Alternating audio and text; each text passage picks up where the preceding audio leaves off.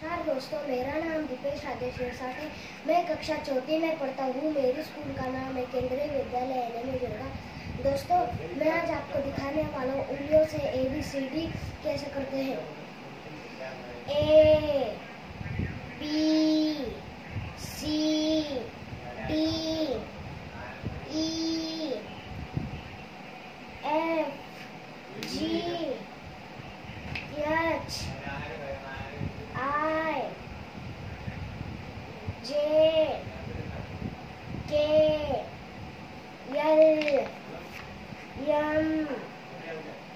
M O P Q R